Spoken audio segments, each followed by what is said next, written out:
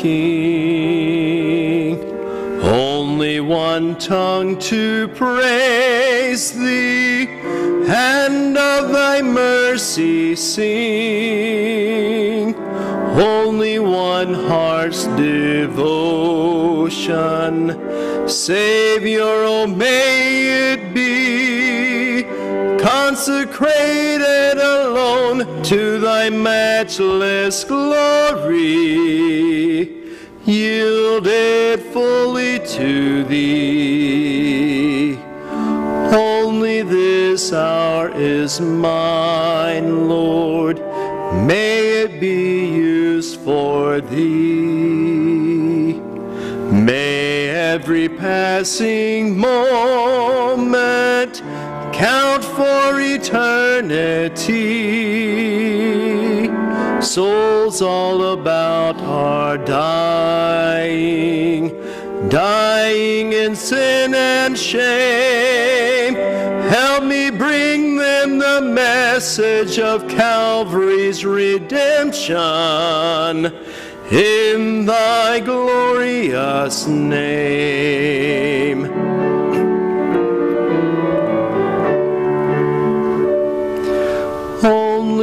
One life to offer. Take it, dear Lord, I pray. Nothing from thee withholding. Thy will I now obey. Thou who hast freely given, thine all in all for me. This life for thy love to be used, my Savior, every moment for thee.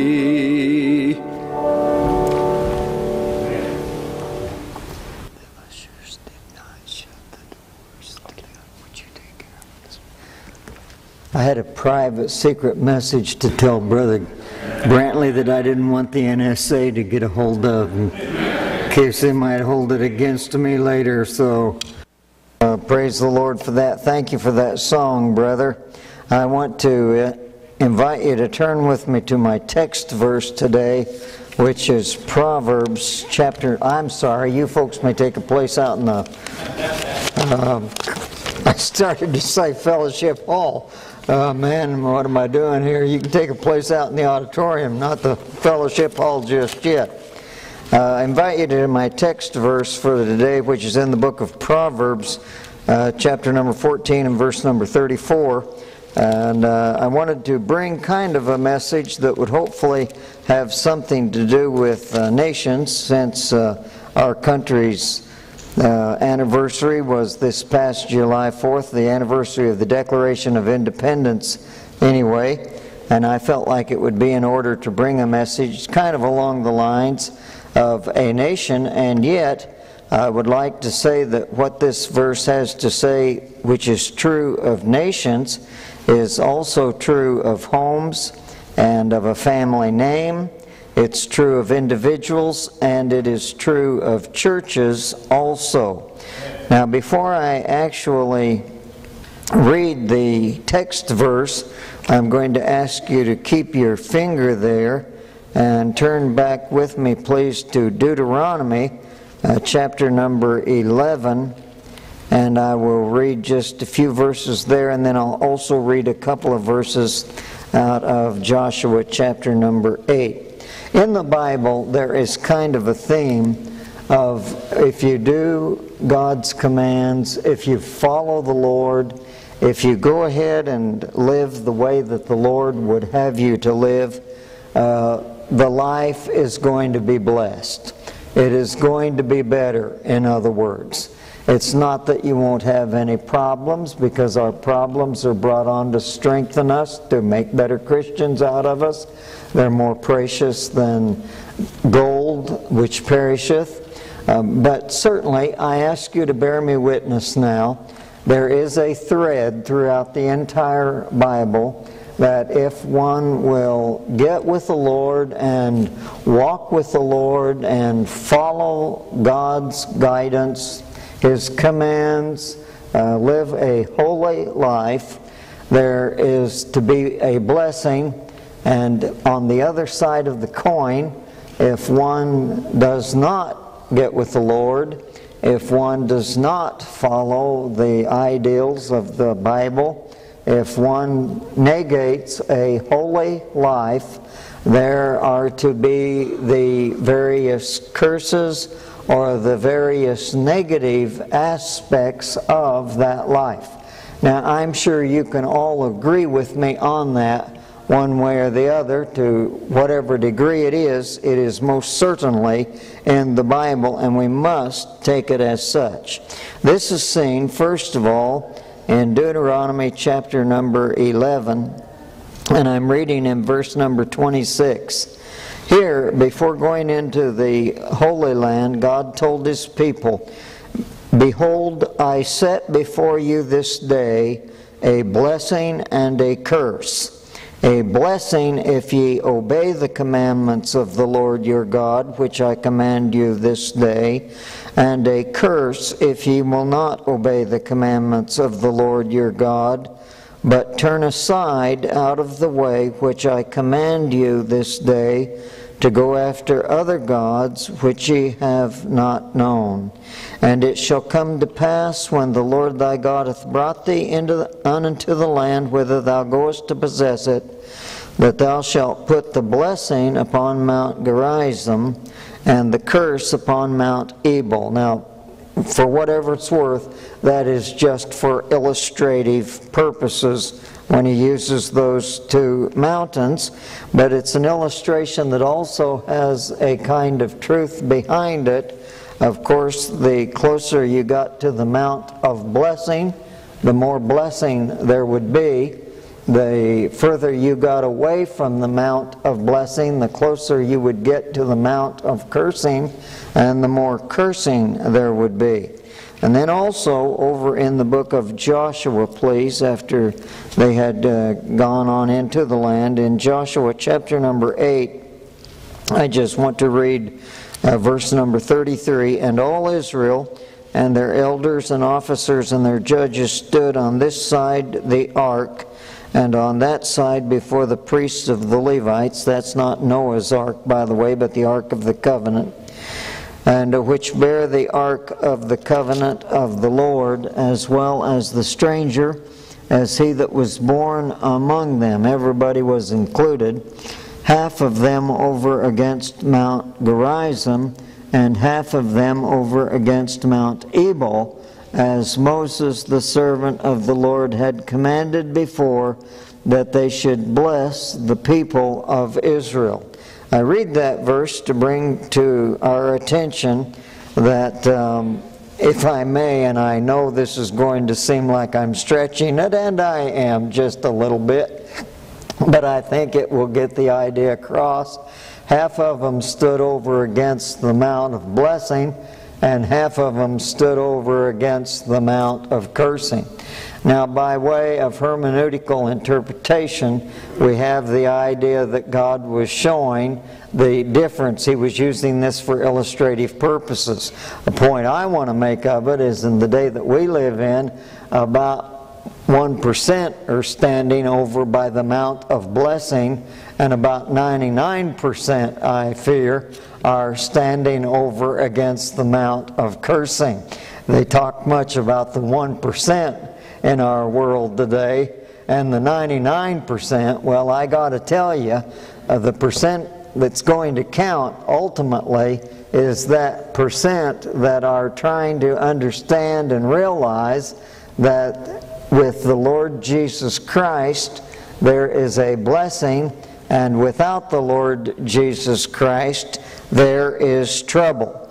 Now, having said that, I want to read what is my text verse because it kind of illustrates these two mountains. It kind of illustrates these two extremes. It kind of illustrates the point uh, that I'm trying to make about blessing versus trouble, blessing versus cursing. And while I want to make mention of this, that God really doesn't have to do any judging process to us if we get away from Him because we'll judge ourselves automatically. I think we should remember that we do serve a God who does get to the point where He does unleash His judgment. You know, folks, I'm afraid that even in many Christian circles, the judgment of God has been so watered down that people need not fear the Lord anymore. You want to remember the Bible teaches that the fear of the Lord is the beginning of wisdom and it is the beginning of knowledge. Having said that, then, I want to read verse 34 of Proverbs chapter number 14. And here's what that particular proverb says Righteousness exalteth a nation, but sin is a reproach to any people. Now, then, as I've already mentioned, clearly we have the thought process here that going with the Lord, walking with the Lord, has its privileges, has its blessings, and going against the Lord, walking in the flesh, is going to have its automatic negatives. There is this blessing, which in Proverbs 1434 is spoken of as righteousness exalts or sin reproaches. That is, doing right, that is, godly living exalts, and by the same token, that is, trouble and reproach come about by sin. And of course, sin is breaking the law of God the law entered that the offense might abound. Uh, praise the Lord, but where sin did abound, grace did much more abound. And uh, the law was our schoolmaster to bring us to Christ. We praise God for that. But we still need to remember that sin has its wages. Of course, the greatest of which is eternal death away from God Almighty, that eternal death in hellfire. That sin also has its wages on this earth, if I may so say. It is wise for us to think along these lines that righteousness exalts not only a nation, but also a home, a family name, a individual and individual. And I'd like to say that also righteousness, walking with the Lord, will exalt a church, but by the same token, sin is a reproach. Now, while it is pretty easy to explain righteousness exalts, I think you would uh, pretty well get the idea out of that. It is good for me to spend just a moment on the business about sin being a reproach. Uh, actually, the Hebrew word translated reproach there has the idea associated with it of censor or censorship. It actually has the idea of condemning. Now, you all probably get the idea of censor because we often think of that in regards to various media processes around the world uh, censoring or getting rid of certain pieces of news or taking this out or that out. Uh, the idea being for our purposes this morning about sin is that sin is going to censor a nation before God. The idea for our purpose this morning is that sin is going to censor a church before God. Uh, the idea is that sin is going to censor an individual before God. And I want to say that whenever we think of righteousness, we obviously think about the imputed righteousness of Jesus Christ, right? Now, if I could cite Romans chapter number 4, which you may read that when you get home later today, in Romans chapter number 4, we have the righteousness of Christ being counted for the individual when the individual comes to Christ as their Savior. You're not seen before the Father in your own righteousness, praise God, but you're seen as in the righteousness of Jesus Christ. We all ought to be thankful for that because we're all a sorry mess when we're seen in ourselves. But it is the righteousness of Jesus Christ that we are seen in. But our God is not only interested in our positional righteousness, which is what I refer to when I think of imputed righteousness and our salvation, but our God is also interested in our practical righteousness in this life. Or I may put it this way, please. God is not only interested in our soul going to heaven, and that's the imputed righteousness of Jesus Christ that we need. We need to be saved. We've got to have our hearts washed in the blood of the Lamb if we're going to heaven. But I say, and I think you'll bear me witness on this, that our God is likewise interested in how we live our lives now in this earth.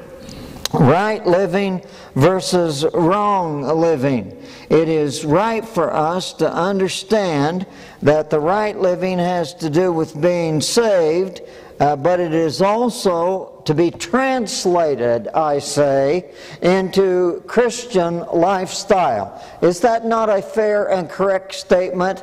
I repeat that if I may. It is good for us to be saved. I'm glad I'm going to heaven, and I know God's glad of it because the Bible teaches there's rejoicing in heaven when one sinner repents, right? But I am also interested in this, and I think God is interested in this also. Our God is interested in our right living while we are here, our living for the Lord and Savior Jesus Christ while we are here. After all, we're not our own, we're bought with a price. If we're going to be biblical, we are not free to set our own standards. We ought to be getting our standards out of the Word of God. And so it is that I, as a minister of the gospel of Jesus Christ, am not only interested in seeing people saved and come to the Lord, but I also am interested in how people live their lives as the children of God. And you may say, Brother Burkholder, that's none of your business. Yes, it is. Because Ephesians says he gave some pastors, teachers for the edification of the saints, for the purifying of the church of Jesus Christ. So what the church people do is partially my business. It's kind of like this, if I may borrow the illustration from the life of D.L. Moody. It is said that in Chicago one day a man looked at Moody and a fellow who was a drunkard and told Moody, hey, there, there's one of your converts. And Moody is supposed to have said to him, Yes, that was one of my converts instead of one of God's converts. Now you can forget that point of it again. The point I want to make of it is just this the guy told Moody, There's one of your converts. And what the church does that I pastor does have a reflection upon the pastor. Like it or not. And so I say that it is my business how I teach the scriptures, whether or not I can inspire you and encourage you to live for Jesus Christ our Lord, whether or not I can come up with nurturing and nourishing messages that hopefully will be translated into vitamins for the Christian life, whereby you come into a closer walk with the Lord, whereby you come into a deeper relationship with Jesus Christ, while, uh, whereby you lay aside the sin and the weight that so easily besets us, and whether or not you take on those things that are going to bespeak of the glory of Jesus Christ in your life. I ask you to bear me witness in this vein at least. It is the preacher's business to preach holy living from his pulpit. Not just the evangelistic message, but a holy lifestyle as well. For instance, I'd like you to consider with me these precious scriptures, if I may. And I'm going to read these quickly. You might want to write them down and look them up in your devotional time later if you would like. I will, for time's sake, read them quite quickly.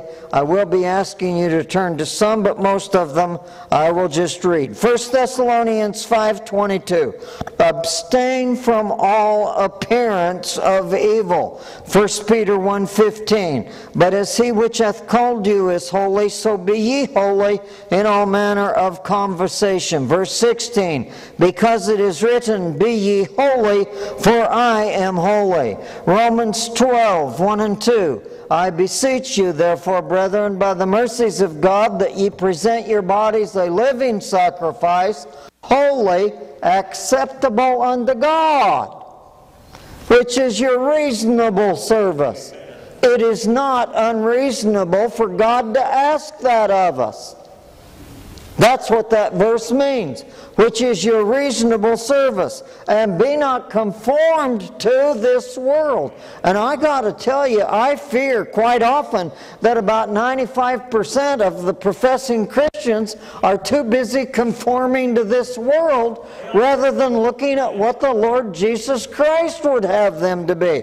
The Bible says, And be not conformed to this world, but be ye transformed by the renewing of your mind, that ye may prove what is that good and acceptable and perfect will of God.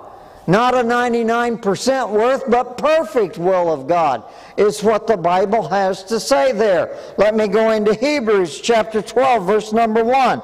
Wherefore, seeing we are also compassed about with so great a cloud of witnesses. And I want to repeat, as I've said just recently in one of my messages, Many people believe that cloud of witnesses are the prophets and the people who have gone on before us. And they're in the sky looking down on us, watching what we do. Also included in that cloud of witnesses is the Lord and Savior Jesus Christ, looking down and seeing what we do. And I'm going to say that that certainly has its merit. But I want to tell you one thing there are a great many literal witnesses out there looking at our Christian lives as well, like it or not.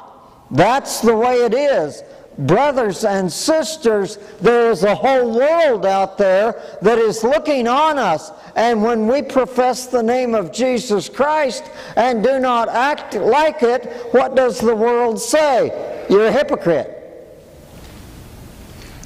If I can borrow from one minister, he said, Why is it that so many in the world say there are hypocrites in the churches? He gave the answer without waiting for an answer from the congregation.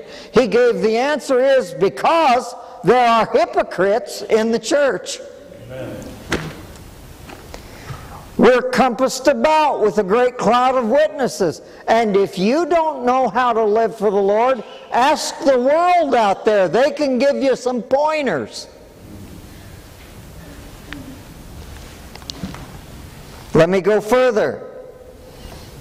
We're compassed about with so great a cloud of witnesses. Let us lay aside every weight, not part of them, not the ones we don't necessarily like or the ones that don't appeal to us, but every weight, and the sin which doth so easily beset us.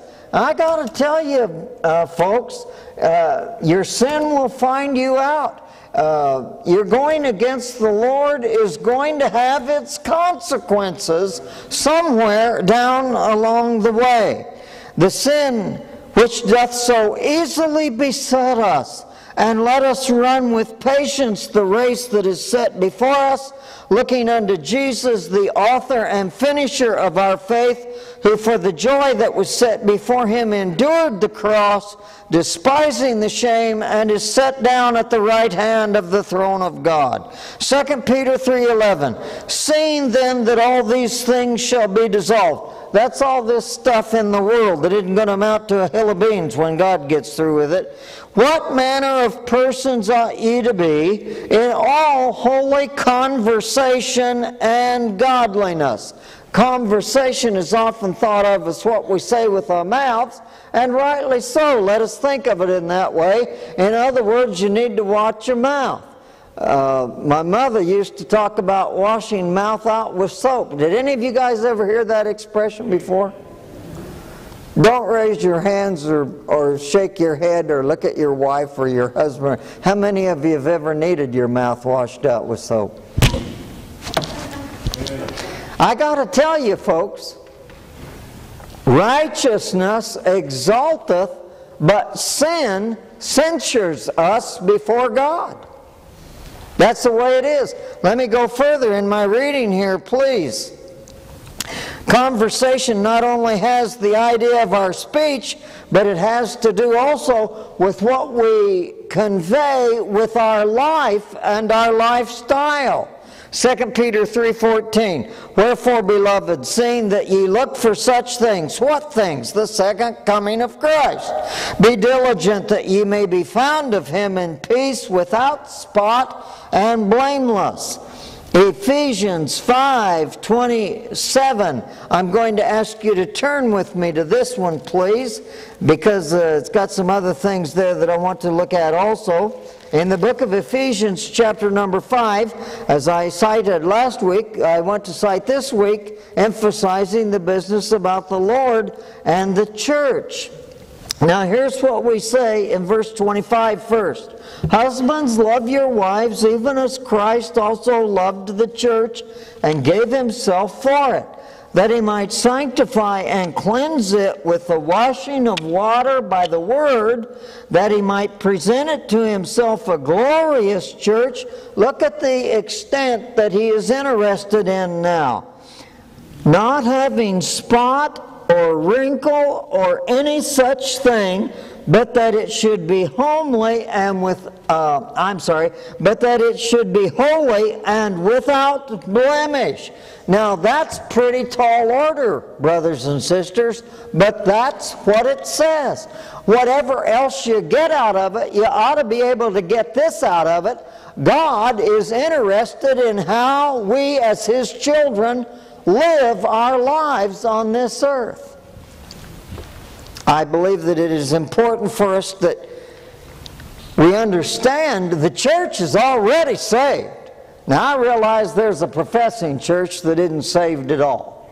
But the true church of Jesus Christ is already saved, and it's that crowd that he's trying to present without spot and without wrinkle, holy and blameless before the Lord. Our Lord is interested in how we live our lives. Now, the time is going by too fast. I needed a whole series of messages on this thing. But I'd like to put it this way if our Lord is interested in how His people lives, live their lives, and He has set pastor teachers over the church, then it looks to me like the pastor teacher ought to be interested in how God's people live their lives. And it looks to me like we ought to have some standards for holy Christian living. That's one reason why I try to have some standards for Sunday school teachers.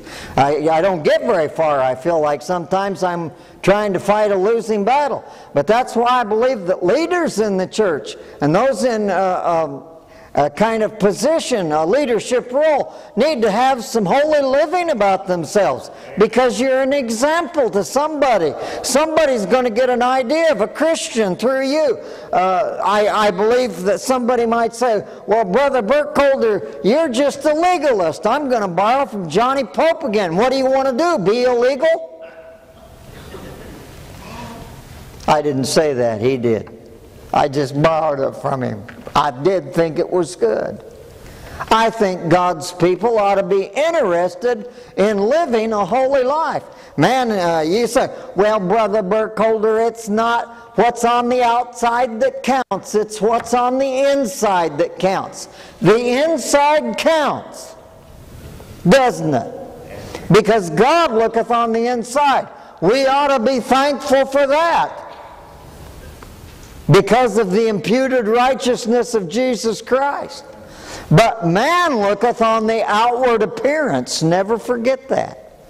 And you say, well, Brother Burkholder, uh, you're just an old fogey, and you're the first member of the Order of Neanderthal Club, and rightly so. You ought to be the one to head it up. Well, that may be, but I'm calling on Christians just not to get saved, but to live a holy life for the Lord. What you do and what you don't do does make a difference.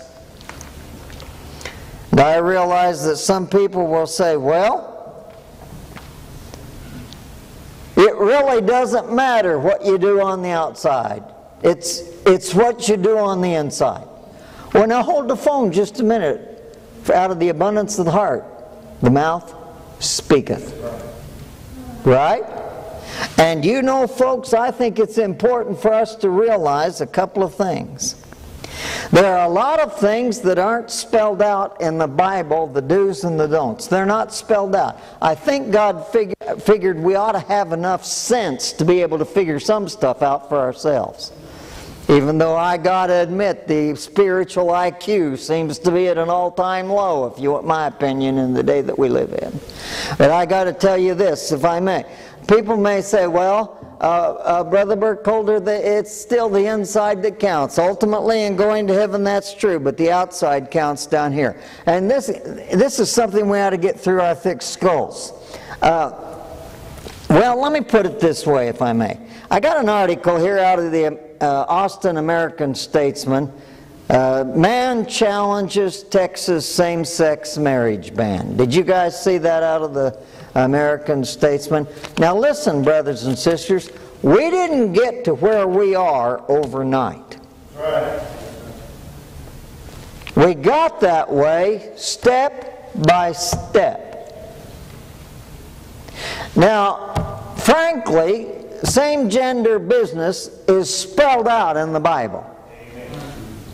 But a lot of things leading up to it may not necessarily be spelled out, but I think God figured we ought to have some sense on our own to use our heads for something besides a hat rack and to get with Him and to have spiritual discernment. I am amazed at the lack of so much spiritual discernment in this day that we live in.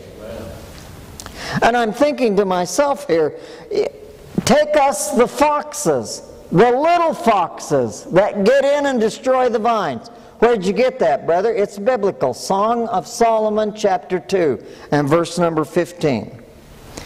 Now, listen, you could take the Ten Commandments, that pretty well spells some stuff out. Of course, it's only a very small part of the law in the Old Testament, but it pretty well spells stuff out. But I'm trying to report to you, generally, it doesn't happen overnight.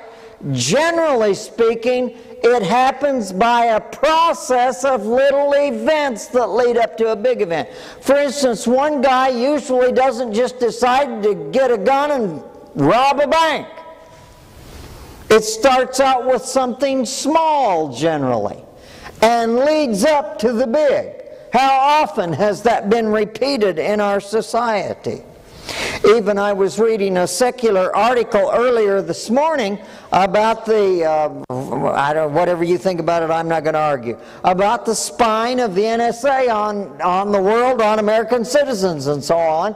And it says that it's going to lead up to something bigger. Now, whether or not you agree with that, I'm not going to argue, but even the world knows it starts somewhere and gets bigger and bigger and bigger. Take the economic situation, for instance. One man that I read after had to say that the business of the Cyprus bank account raiding, hope you guys are familiar with that, is just the beginning. What does that mean? even the world recognizes, take us the foxes, the little foxes that get in and destroy the vines. Uh, what am I trying to get at here today? The little things do amount to something, and it is a process of things. And what is on the inside does amount to something, and I'm going to have to come to a close by using this illustration, if I may. In Matthew chapter number 5, the Lord and Savior Jesus Christ used the illustration about adultery and, he said, uh, You say, Don't commit adultery, but now you remember this part. But I say unto you, whosoever looketh on a woman to lust after her in his heart hath committed adultery already. Do you remember that one? In other words, it wasn't the actual thing, but it was something that was going to lead up. And I'm, I'm trying to point out, folks, as a concerned minister, that we don't all of a sudden just quit the Lord. We don't all of a sudden just get out of church. It usually starts on Wednesday night or visitation or something like that. And all of a sudden, a guy just doesn't decide to go do some uh, bad crime uh, toward uh, the female part of society or however you want to put it. But I'm going to say this it starts down in the heart. The heart does make a difference. That being the case, I am reminded that our Lord told the ladies uh, to dress in modest apparel, right? Amen.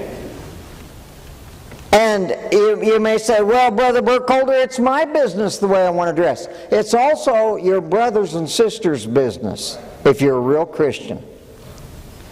And you may say, well, I, I can do what I want to do. In some ways, that's true. But whom he loveth, he chasteneth. And you want to remember the business about causing a brother to stumble. It was brought out in the Sunday school lesson this morning for you adults who were in the Sunday school class. And you know, I, I got to tell you, we're, that one illustration that I'm using on the, the business, which I even hate to say the word, but brothers and sisters, we are bombarded day by day with stories, with dirty jokes, with pictures on billboards going down the highway, and yea, with in many cases, uh, the way people dress or don't dress. And you may say, well, show me the scripture and verse. What I'm trying to point out is take us the foxes, the little foxes. And it's just not on the matter of dress. I want to say this how you dress, where you go, what you do, how you act does make a difference. You say, well, it's just a little thing. Well, okay, but the little things mount up. And I want to close by saying this the child of God ought to be concerned about what the Lord thinks. Now, get the Sunday school lesson this morning because it was very well put, so I'll save the time on that one. And I'm only given about a very small part of my message this morning, so I'm going to have to come back to this. I don't know whether the crowd will be bigger or lower by the time I get back to it. But I want to say this this is one minister who believes it is his duty to try to rear Christians to the honor and glory of Jesus Christ. Amen. And you may say, well, Brother Burkholder, I don't think it's any of your business. Well, uh, we're in a free country, so you can think the way you want to think. All except this you've been called unto liberty, only use not liberty as an occasion to the flesh. Shall we stand with our heads bowed and eyes closed? Now I realize I haven't brought a salvation message this morning. I've brought more of what I hope to be an edifying, building, educational message for Christians, a thought provoking message uh, on their lifestyle. But be that as it may, if you're here and you're not saved or you don't know whether you're saved or not, I want to invite you to consider that this morning. And if that's your case, I ask you to do one of two things. Meet me down here at the front and tell me, Brother Burkholder, I don't know whether I'm saved, or Brother Burkholder, I'm not saved, but I want to get it settled. Meet me down here. I'll have a counselor come and show you out of the Bible how to know for sure Jesus Christ is your Savior. Or you can take a position over at the door to my right, and a counselor will come and show you out of the Bible in the privacy of the inquiry room, how to know for sure the Lord is your Savior. Perhaps you just need to come to the altar and pray. It may not be you've been a wicked, wicked, wicked, wicked sinner, but there may be something that's troubling you or some person that you might wish to pray for, you're welcome to come to the altar and pray. If you want to pray with me or you want me to pray with you, please come to me personally. May God bless you to know and do His will this morning. And my biggest prayer this morning is that God shall bless the spiritual index of Trinity to be on the rise rather than on the fall. Our Father in heaven, I thank you for thy love and goodness. I commit the invitation now to thee, Lord.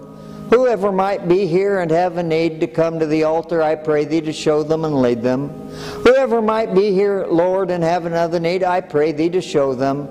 And I pray, O God, that you might speak to each one of our hearts in a varied way and the right way that each one of us needs to be spoken to by thee, that we might grow in grace and knowledge of thee. In Jesus' name I pray, amen. Number 159 in the book, if you'd like.